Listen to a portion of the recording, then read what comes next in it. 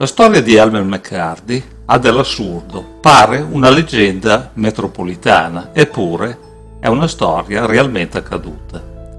Elmer McCarthy fu ucciso da un sottoposto dello sceriffo sul confine tra Oklahoma e Kansas nel 1911 a causa di una rapina al treno che gli aveva fruttato 46 dollari e due damigiane di whisky.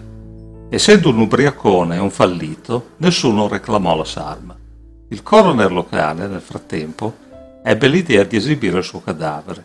Lo fece imbalsamare e al costo di 5 centesimi per persona, i visitatori potevano osservarlo da vicino. Però per pagare questi 5 centesimi dovevano farli scivolare fra le labbra del morto. Per i primi anni McCarthy stette in piedi in un angolo dell'obitorio, finché due impresari di un Luna Park si finsero suoi fratelli e reclamarono il corpo. Saltiamo ora al 1976, quando una troupe televisiva del programma The Six Million Dollar Man stava effettuando delle riprese nel parco dei divertimenti di Pike a Long Beach, in California.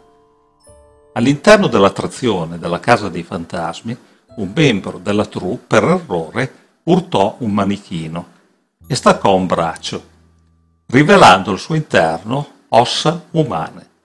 I proprietari dell'attrazione restarono sconvolti, dato che erano i primi ad essere convinti che si trattava semplicemente di un manichino.